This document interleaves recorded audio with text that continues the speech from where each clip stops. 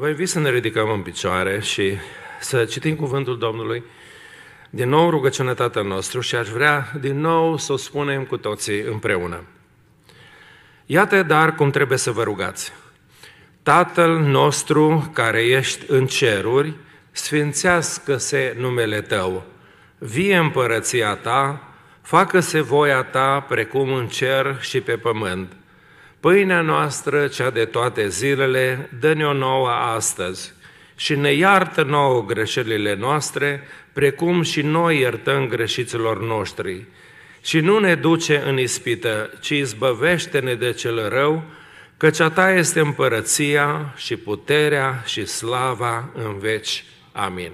Să ocupăm locurile.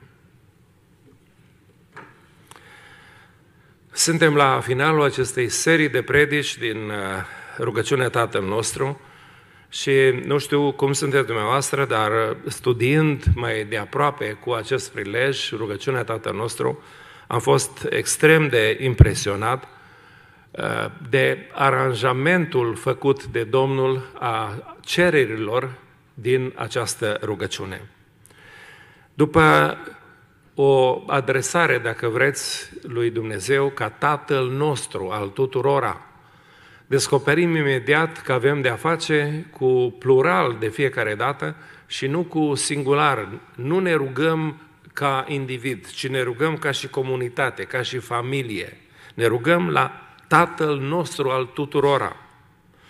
Dacă cerem ceva pentru noi, cerem din nou comunitar, Uh, pâinea noastră, dă-ne-o nouă, uh, ne iartă păcatele noastre, precum și noi iertăm păcătoșilor noștri, greșiților noștri. Apoi, în final, nu ne lăsa pe noi în ispită, ci păzește-ne pe noi de cel rău. Este o rugăciune care întotdeauna are această dimensiune comunitară, ne rugăm ca și familie umană înaintea Tatălui nostru din ceruri. Nu există nimic egoist în această rugăciune. Nu cere nimic pentru noi ca individ, ci pentru noi ca și comunitate. Facem parte dintre copiii lui Dumnezeu și ne rugăm Tatălui nostru care este în ceruri. Dar dacă rugăciunea începe uh, atât de frumos adresându-se Tatălui nostru, uh, al tuturora, Tatălui nostru care locuiește în ceruri, Rugăciunea se încheie cu un final absolut glorios.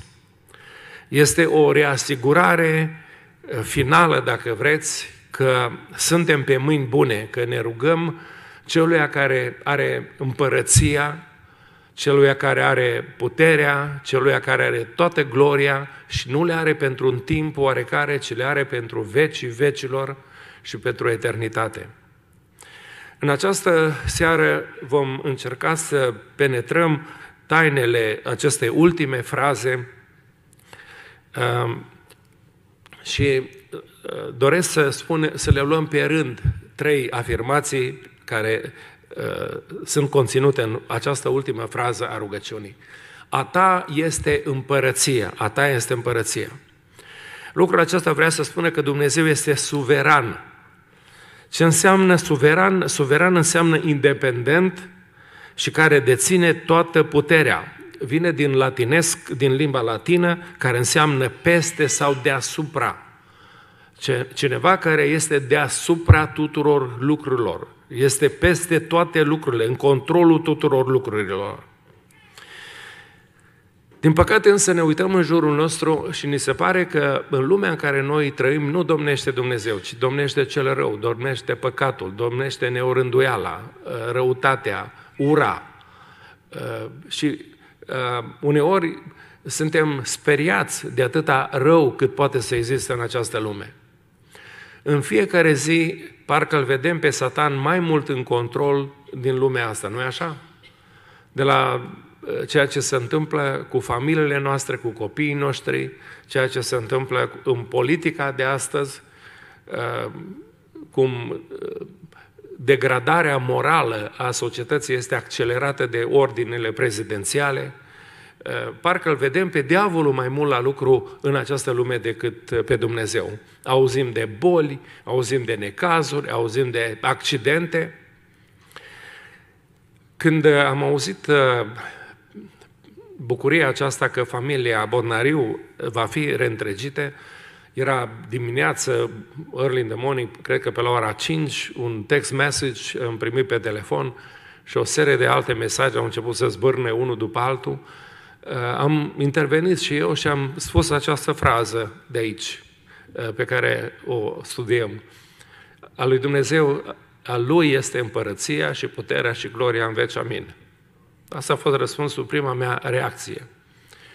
E bine, uh, vineri, asta s-a întâmplat vineri dimineața la ora 5, vineri rodica pe Express, pe freeway, cum se spune aici, eu am încă minte de la Chicago cu Express, uh, a început și-a adus aminte de fraza asta și a început să o spună și a spus-o cu voce tare, tot mai tare și când a zis o cincea oară, a venit fierul ăla mare care a lovit în parbriz. Și dintr-o dată, uh, după asemenea întâmplare, încep să crezi că Satan este în control în lumea asta, nu? Ai de face prima dată cu el.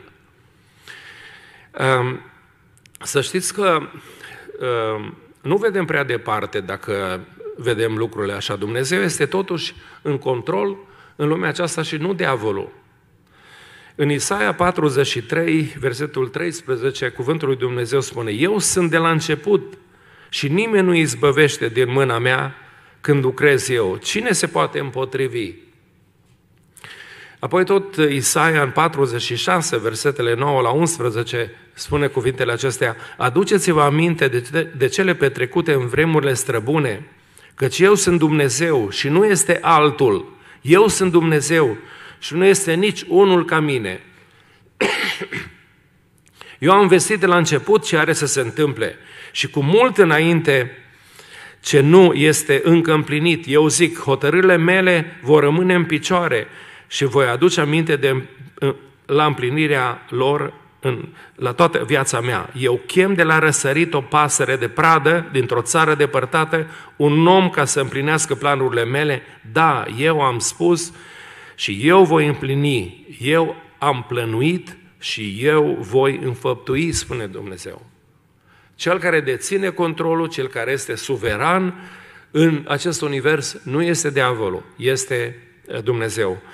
Chestiunea este că noi vedem mai degrabă răul, parcă trăim în uh, lumea noastră, nu? Uh, în care răul este difuzat la televizor. Lucrurile bune nu se dau la televizor, nu e așa? Dacă se întâmplă undeva un lucru bun, nu-i pasă nimănui. Dacă se întâmplă o nenorocire, nenorocirile sunt publicate imediat și sunt date uh, publicului. Isus i-a învățat pe ucenici această rugăciune în timp ce la Roma domnea cezarul. De la insulele britanice până în India, lumea cunoscută de atunci era Imperiul Roman, peste care domnea cezarul de la Roma. Domnea cu pompă, cu fală, cu forță, un simplu gest a cezarului însemna viață sau moarte pentru cineva, Ehm, cezarul domnește în, în palatele lui din, din Roma, în opulență, în bogăție, în aur. Ehm, în timpul lui însă se naște într-un graj din Betlehem cineva care are într-adevăr împărăția și împărăția lui va domni din veac în veac și care este Domnul domnilor și împăratul împăraților. Știți că primii creștini au intrat în conflict direct cu cezarul, pentru că salutul din vremea aceea era Ave Cezar, să trăiască Cezar. Cezar era Domnul. Și creștinii spuneau, nu, nu, Cezar nu este Domnul, Domnul este Hristos. Împăratul este Hristos, nu cezarul de la Roma. Și i-au contestat cezarului, uh, prima, uh, primatul lui, i-au, i-au contestat locul din tâi în viața lor. Nu e de mirare că cezarul s-a ridicat așa de furios împotriva creștinilor. Dumnezeu însă are apoi supremația. Căderea omului în păcat n-a fost altceva, spunea, spun unii teologi, decât renunțarea lui la domnia peste planetă. Dumnezeu i-a dat omului mandatul acesta să domnească, să stăpânească această planetă mă rog, de aici s-a născut o întreagă teologie care se cheamă Dominion Theology, care, cu care nu suntem într totul de acord, dar adevărul acesta este Dumnezeu i-a dat planeta aceasta în stăpânire omului. Odată cu căderea omului în păcat, el a cedat stăpânirea planetei diavolului. Și nu e de mirare că diavolul este numit Dumnezeul viacului acestuia. În 2 Corinteni, capitolul 4, cu versetul 4, Satan este numit Dumnezeu viacului acestuia. Când Domnul Iisus Hristos a murit pe cruce, moartea lui răscumpărătoare pentru rasa umană, el a fost al doilea Adam. A început o nouă creație. Nou, omul a primit din nou stăpânire peste planetă. Diavolul a fost alungat de aici. Uh, el nu mai are stăpânire peste ființele umane. El stăpânește peste, peste cei care îi dau voie. Dar prin Hristos noi avem autoritate asupra Lui și diavolul nu mai are supremație peste planeta noastră, peste ființele noastre. În rugăciunea aceasta, Tatăl nostru, în final, recunoaștem supremația Domnului Isus Hristos peste toate lucrurile din viața noastră. A ta este împărăția. Nenorocirea este că noi nu ne purtăm ca atare. Noi avem încă foarte multe lucruri ale noastre în această împărăție ale lui, al, a lui, nu-i așa? Noi avem uh, familia noastră, familia mea, jobul meu, banii mei, casa mea, mașina mea, biserica mea, biserica noastră, nu? Ori dacă spunem uh, a ta este împărăția, ar trebui să mai abdicăm de pe tronulețele astele noastre pe care credem noi că mai domnim. Eu cred că o supunere totală Domnului Domnilor și Împăratul Împăraților ar aduce mari victorii în viața noastră. Îi predăm Domnului toată viața, nu-i așa? Dar când e vorba să predăm toate cheile de la împărăția noastră, ținem câteva pentru noi. Nu-i dăm voie să intre peste tot, nu? Avem noi the privacy în care nu lăsăm pe Domnul să intre în viața noastră. Cred că dacă spunem a ta este împărăția, ar trebui să îi dăm voie să împărățească peste întreaga noastră viață. Uh, peste afacerile noastre, peste uh, familia noastră, peste relațiile noastre, peste biserică, peste tot, pentru că a Lui este împărăția și nu este a noastră. A Lui nu este împărăția diavolului. Nu domnește peste planeta aceasta Organizația Națiunilor Unite. Nu domnește peste planeta aceasta Obama, cel mai puternic om din lume, cum se spune despre el, nu? Nu domnește, domnește Hristos. Lumea aceasta în care noi trăim este împărăția Lui. Suntem membri în această împărăție a lui, a lui Hristos, facem parte din ea. Să ne purtăm ca atare, știind că El este Domn al domnilor și împărat al împăraților. Aș vrea să luăm a doua frază care spune, a ta este puterea a ta este puterea. Știți că puterea lui Dumnezeu este enormă? Noi nu slujim unui Dumnezeu slab, ca toți zeii făcuți de oameni.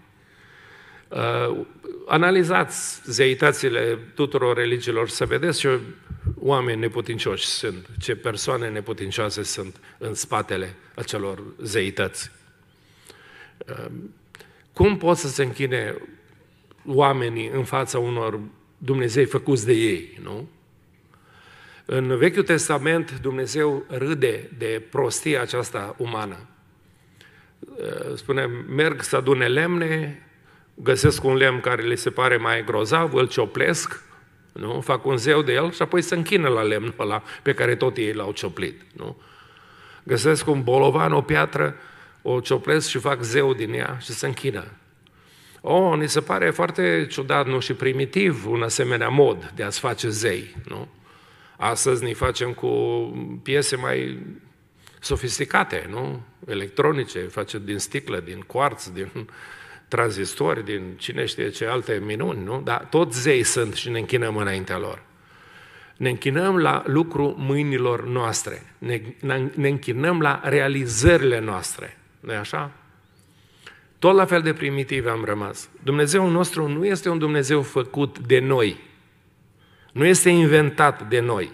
Știți că numele Lui este Atot Puternicul? Atot Puternicul? El este Cel care poate totul. Poate totul. Biblia este plină de citate, de, de referințe la această uh, putere extraordinară a Dumnezeului nostru. Iată să luăm câteva și să le vedeți. Genesa 14, 18 cu 14. Este oare ceva prea greu pentru Domnul? Este oare ceva prea dificil pentru Dumnezeu? Nu este. Un alt uh, verset extraordinar, Iov 42 cu 2. Știu că tu poți totul și că nimic nu poate sta împotriva gândurilor tale. Știm noi că Dumnezeu poate totul și că nimic nu poate sta împotriva gândurilor lui Dumnezeu? Credem asta? Ne purtăm ca atare? Un alt uh, citat extraordinar, Eremia 32 cu 17. Ah, Doamne Dumnezeule, iată tu ai făcut cerurile și pământul cu puterea ta cea mare și cu brațul tău întins. Nimic nu este de mirat din partea ta. Nimic nu este de... Nu ne, nu ne putem mira. Ceva, wow, extraordinar. A, asta chiar? Chiar Dumnezeu a putut să facă așa ceva? Nu putem să spunem asta, pentru că Dumnezeu poate să facă toate lucrurile. Un alt verset îl găsim în Matei 19 cu 26. La oameni lucrul acesta este cu neputință, dar la Dumnezeu toate lucrurile sunt cu putință. Toate lucrurile sunt cu putință. La Dumnezeu toate lucrurile sunt cu putință. El este atotputernicul care poate să facă toate lucrurile. Dar puterea lui Dumnezeu nu este numai uh, puterea lui Dumnezeu nu este uh, numai enormă, uriașă, ci este veșnică, este veșnică.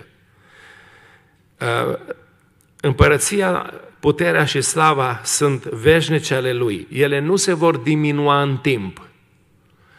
Uh, sunt împărați care de-a lungul istoriei au început puternic, nu și-au arătat toată puterea, pe urmă au bătrânit, uh, s-au corupt, au venit alții mai puternici și au încheiat-o aproape fără, fără autoritate. Puterea lui Dumnezeu nu, nu se diminuează în timp. Dumnezeu nu îmbătrânește ca noi. Nu? Când eram tineri, nu era o problemă să fugim.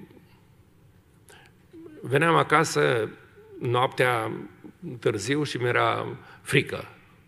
Treceam printr-o zonă așa satului foarte întunecoasă, nu erau becuri electrice, nimica, erau niște pomi foarte înalți și foșneau așa foarte ciudat noaptea. Doamne, ce fugeam pe locurile alea. Nu? Acum să fugă vreun câine rău după mine, nu reușesc să, să fac față la viteza de atunci, nu e așa? Nu mai suntem aceiași, ne pierdem puterea în timp, ne pierdem capacitățile. Dumnezeu nu-și pierde capacitatea sa, Dumnezeu nu-și pierde abilitatea sa de a conduce universul. El este tot la fel de, de în stare să conducă acest univers. Eh, Biblia spune despre el că este imuabil, nu se schimbă, este mereu același, mereu același.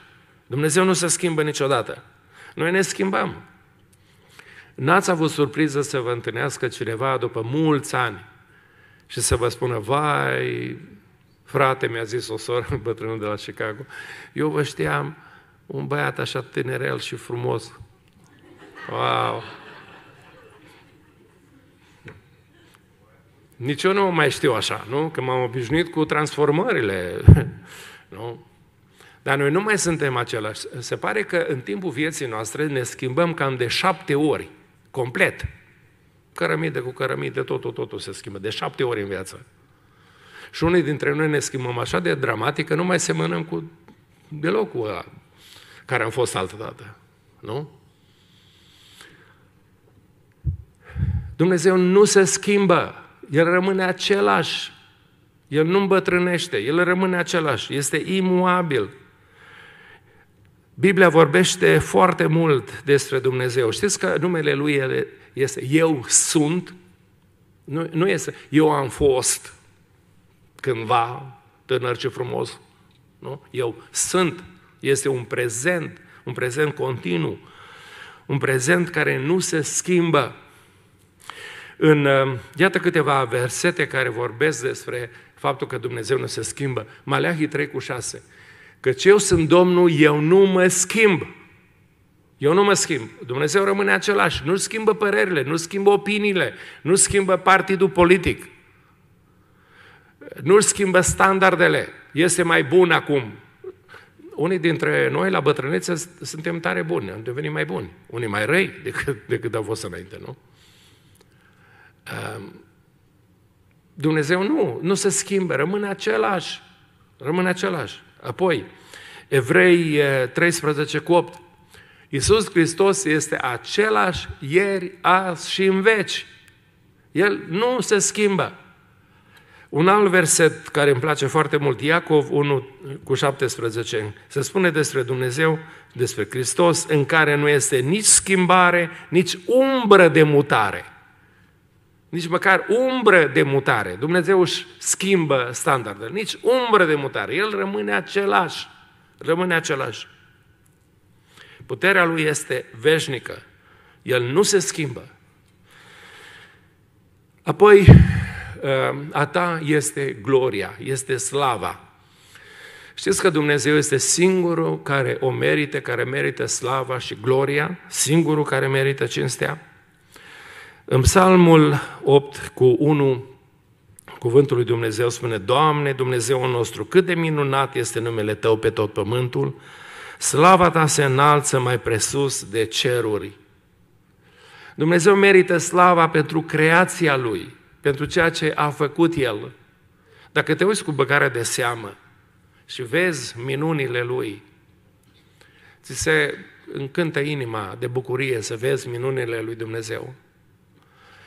În curtea noastră, unde cam tai destul de rar iarba, recunosc asta, uh, pasc iepurii.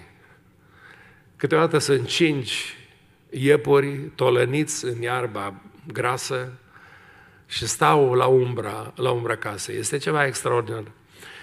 Nu vine să deschid ușa, se deranjez cumva.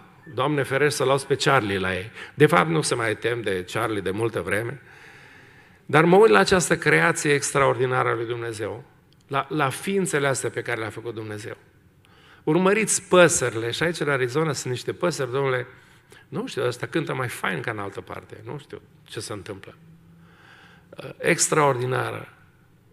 Cât, câte minune a pus Dumnezeu, câte minune a pus Dumnezeu în jurul nostru și a trebuit să ne deschidem ochii să le vedem. Să vezi pomii ăștia din Arizona în primăvară cum încep să înflorească unul după altul și nu știu ce soiuri sunt, că și acum sunt tot înfloriți, în continuu, cred că toată vara. Este, este un lucru fantastic.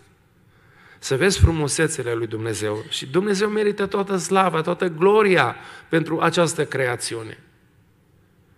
Creația asta este a Lui, El este autorul. Dar știți că Dumnezeul nostru este un Dumnezeu gelos? Dumnezeu gelos? Iată ce spune în Exod 34 cu 14. Să nu te închini înaintea unui alt Dumnezeu, căci Domnul se numește gelos. Este un Dumnezeu gelos. El nu vrea să împartă slava cu niciun zeu, cu niciun Dumnezeu fals. Ehm, aici vreau să vă spun că Dumnezeu va împărți slava cu noi, ne va duce în slavă și pe noi, ne va da din gloria pe care o are, ne va da voie să trăim și noi în ea. Dar când o furi, dând slavă zeilor pe care ai creat tu, cu mintea ta slabă și cu mâinile tale, atunci Dumnezeu este gelos, este supărat pe acești zei pe care noi am făcut. Când în Franța a murit uh, regele Ludovic al XIV-lea, omul care este, a fost considerat regele suprem, soare al Franței, a făcut extrem de multe lucruri pentru Franța, uh, în toate domeniile, în artă, în politică, social. A fost un om corupt la viața lui, cum erau toți regii din timpul acela, dar a avut o mormântare absolut spectaculoasă. Au venit de peste tot delegați din toată lumea la înmormântarea lui Ludovic al XIV-lea. Catedrala Notre-Dame din Paris era arhiplină de toate demni, toți demnitarii Europei și fiecare încerca să laude pe rege cât putea mai mult. Nu? Cred că se temeau de el și că era mort, dacă înviază ăsta cumva. Um, preotul de la Notre-Dame, după ce a ținut eulogia, nu, a laudat și el mortul, a văzut pompa aceea extraordinară a mormântării și a rostit o frază care a amuțit întreaga audiență și a spus numai Dumnezeu este măreț. Numai Dumnezeu este măreț și merită toată slava și cinstea, nu oamenii. Sunt oameni mari în această lume care au făcut lucruri extraordinare. Sunt oameni care au titluri mari, care au lăsat urme uriașe în istorie. Fiecare însă a murit și s-a dus și toți acești oameni nu merită slava și gloria, cum o merită Creatorul nostru al tuturora. De aceea ar trebui să avem grijă cui dăm slavă și cinste. A fost o vreme, țineți minte, cei care sunteți mai în vârstă, eu încă nu am prins acele vremuri, uh, în perioada lui Stalin, o întreagă țară românească a fost educată și forțată într-un fel să spună slavă lui Stalin, glorie lui Stalin. Știți că asta era fraza? Noroc că lucrurile s-au schimbat și au văzut lumea că nu merita deloc gloria asta, și a meritat rușinea istoriei pentru că au omorât mai mulți oameni decât au omorât Hitler și alți dictatori împreună. Numai Dumnezeu merită toată slava. Știți că El este singurul care determină cine va ajunge în slavă și cine va ajunge în glorie? El este singurul care determină asta. Slava lui Dumnezeu este veșnică, la fel cum este împărăția și puterea sa, așa cum spunem în rugăciune, în vecii vecilor. El va stabili cine va fi dus în slavă, pentru că El este calea uh, spre glorie. Isus este calea. El a spus, eu sunt calea, adevărul și viața. Nimeni nu vine la Tatăl decât prin mine. Vom intra în gloria cerească aduși de mână de Isus, dacă vreți. Vom intra în ea împreună cu El. El ne va aduce, pentru că El este calea spre gloria cerească. În fapte 4 cu 12 se spune foarte clar, în nimeni altul nu este mântuire, că nu este dat sub cer un alt nume dat oamenilor în care trebuie să fie mântuiți decât numele Domnului nostru Isus Hristos. El este singurul care ne poate duce în slavă. Numai prin Cel care are împărăția și puterea și slava vom intra în împărăția sa glorioasă.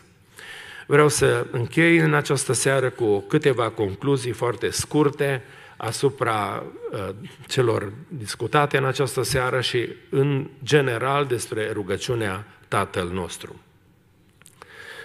Un prim lucru, în concluzie, vreau să spun că rugăciunea Tatăl nostru are această dimensiune comunitară de care spuneam înainte. Noi trăim în America care ne-a învățat că mântuirea este personală. E adevărat într-un fel, dar ne o ducem în familia lui Dumnezeu, în dimensiune comunitară. S-ar putea ca mântuirea să fie personală într-o, într-o anumită limită. Dar trebuie să ne o ducem până la capăt în mijlocul fraților, în mijlocul bisericii. Trebuie să ne o ducem până la capăt mântuirea în mijlocul familiei lui Dumnezeu. De aceea relațiile noastre cu ceilalți sunt cruciale. Biblia spune, împacă-te cu pârâșul tău înainte să ajungi la altar. Nu veni la mine pe cont, pe ușa din dos, noi suntem o familie, spune Dumnezeu. Trăiește în relații bune cu frații tăi. El este Tatăl nostru. Ar trebui să revenim la această idee care este fundamentală pentru biserică. Ne împărțim în indivizi, ne împărțim uh, așa de tare unii de alții și ne rupem și lipsește această coeziune, această unitate a Bisericii lui Hristos, pentru că influențele din afară care ne învață să fim self-sufficient, să ne fim singuri suficienți nouă înșine, să nu avem nevoie de nimeni. Nu putem trăi așa. Noi suntem o familie, suntem o biserică a lui Hristos, suntem copiii toți a unui tată și avem nevoie unii de alții. Nu putem unii fără, fără, fără ceilalți. Nu putem înainta. Cineva a spus că suntem îngeri cu o singură aripă. Nu putem zbura decât împreună. Avem nevoie unii de alții. Nu uitați, Dumnezeu este Tatăl nostru. Și când spun Tatăl nostru, este, spun, mă adresez și lui care este Tată și pentru cel care nu-mi place mie de el. Și acel Tată spune, du-te la frate tău și împacă-te și pormă veniți împreună. Trăiește în respectă pe ceilalți copii ai mei. Există atâta discriminare în lumea noastră. Nu ne place culoarea unora, nu ne place originea, nu ne place țara de unde vin, limba de unde vine. Multe lucruri nu ne plac. Iată că suntem români. Până și noi suntem divizați între noi, unul din nord, unul din sud, unul din unul oltean, unul moldovean, unul ardelean. Toți avem probleme unii cu alții, facem bancuri unul pe seama celuilalt. Unii merg până acolo încât se despart. O biserică într-un oraș aici s-a desfățit, s-au adunat toți din o anumită regiune și au zis că ei vor să se închine Domnului în limba maicilor. Parcă limba maicilor nu era și în limba maicii noastre, nu? Foarte ciudată e chestia asta. Ne desfărțim unde ne alții, ne segregăm. Există discriminare, există inegalitate în această lume. Nu uitați, Dumnezeu este Tatăl nostru. Este Tatăl nostru. Este Tatăl mexicanul ăla pentru care ai dispreț, care lucrează pentru 10 dolari la oră, pe care iei de la Home Depot. E Tatăl nostru. Am mai spus povestea aceea că într-o zi un negru a sunat la casa unui bogat. Ăsta ești afară, zice, ce vrei, mă? Dacă vrei ceva, vii prin spate, la ușa din dos, nu ușa din față. S-a dus omul pe ușa, la ușa din dos, l-a chemat înăuntru și uh, mi-a zis, ce vrei? Păi, mi-e, mi-e foame, a zis, da. No, bun, stai la masă. Și da, zice, înainte să mănânci ceva, noi ne rugăm, în casa asta ne, ne rugăm. Ia zi după mine. Că pe lângă că suntem răi, suntem și pocăiți, nu? Suntem și evangelizăm pe alții. Ce zi mai după mine? Și l-au zis, zice, tatăl nostru și negru a zis, tatăl tău și nu mai, tu ne auzi bine, tatăl nostru, asta iar a zis tatăl tău. Zice, bă, tu nu auzi bine sau care e treaba? Zice, domnule, dacă, hai să fim serios, zice, dacă Dumnezeu e tatăl nostru și al meu și al dumneatale, atunci acest tată ar fi, e foarte supărat pe tine că m-ai băgat pe ușa din dos. Nu? Dacă Dumnezeu e Tatăl nostru, mă primeai pe ușa din față. Dumnezeu este Tatăl nostru să nu uităm lucrul acesta și în această lume atât de segregată, atât de, atât de împărțită, avem nevoie să trecem peste aceste bariere. Am întrebat pe un prieten de-a meu, o biserică mai mare ca a noastră, mai dinamică, mai de, mai de succes, și am zis, de ce nu deschideți biserica pentru comunitatea americană din jur? Și mi-a spus un lucru care m-a, m-a terminat. Zice, nu suntem pregătiți să avem de-a face cu the trash, cu mizeria Americii. Noi, biserica, nu suntem pregătiți să facem față la mizeria din jurul nostru. Prima dată n-am înțeles exact, dar pe urmă m-am gândit foarte bine. Noi venim la biserică, spălați bine, frumos, îmbrăcați haine de sărbătoare, parfumați, cu cravată, nu? Venim la biserică și vrem la biserica noastră să vină homeless, vreți să vină homeless, să vedeți cum miroase ăștia, ce parfum folosesc ăștia? Nu vrem să apară ăștia aici în biserică. Țin minte, la Chicago s-a făcut așa o gaură în, într-o zonă din biserică, toți au fugit de acolo. M-am uitat, era un homeless care a intrat în biserică. Și unul dintre ușieri a venit la mine și a spus, frate, să-l dau afară? Eu mă gândeam că trebuia să-l dau afară pe ușier acum, nu? Nu suntem gata să le mirosim parfumurile, nu suntem gata să le vedem tatuajele, nu suntem gata să să primim beți și drogați și mizeria Americii din jurul nostru. Nu suntem gata să primim, nu? Noi suntem o societate foarte selectă. Gândiți-vă bine la ce vă spun. Cum să se pune ei, domnule, pe băncile noastre tapițate așa de fain? Da? Ăla nu s-a spălat, nu și-a spălat nădrage de la ultima ploaie. Nu? Gândiți-vă la lucrurile astea. Tatăl nostru? Au, tatăl nostru cei de aceeași naționalitate, nu? de aceeași condiție socială, tatăl nostru la cei din suburbie, tatăl nostru la cei îmbrăcați fain. Lucrurile astea sunt foarte complexe. Ar trebui să ne gândim profund la ceea ce spunem pentru că Dumnezeu este creatorul tuturora. Dar ne groază de ei, frate. Dacă un bețiv de la începe să facă scandal, ce facem? Nu știm ce să facem, pentru că noi nu, nu, nu suntem învățați să avem de-a face cu așa ceva, nu.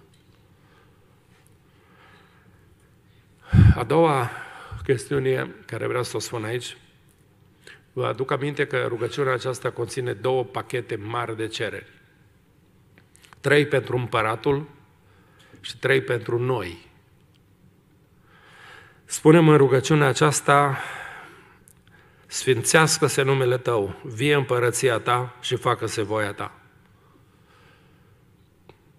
Trei lucruri pentru împăratul, pentru împărăție și trei pentru noi.